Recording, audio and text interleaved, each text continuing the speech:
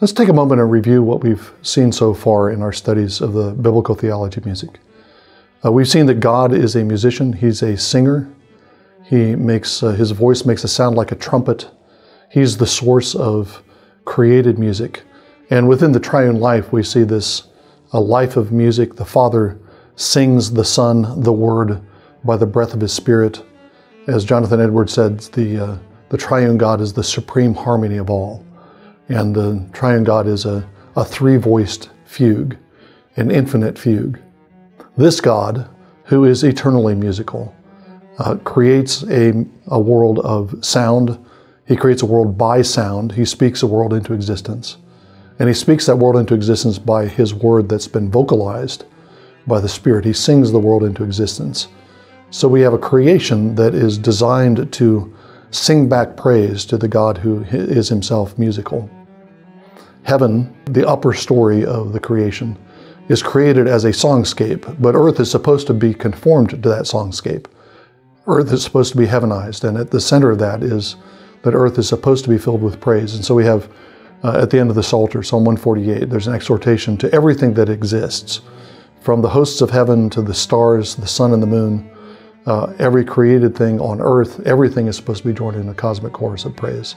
That's when earth is heavenized, when earth is filled as much filled with music as heaven is. God creates man to be the agent of heavenization. Man makes earth into heaven, and that means that man is the leader and the conductor and the lead singer of the great chorus and the great symphony of creation. Our goal, our role as uh, as uh, creatures made in the image of the singing God, the musical God, is to be um, heading up this great chorus of praise that in includes everything that exists. And as we take dominion over the earth, that's what we're doing. We're transforming the world and making the world into a set of instruments and a set of beings that brings praise to God. I think a musical instrument is a great paradigm example of what dominion is all about.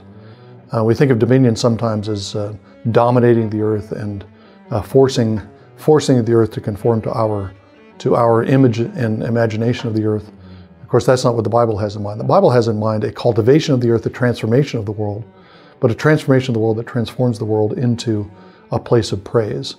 You think the construction of a musical instrument, there, uh, someone takes the raw materials, uh, wood and something that provides string, and some other materials, ivory perhaps for piano keys, and you turn all of those, you transform all of those raw materials and you turn them into an instrument that brings praise to God.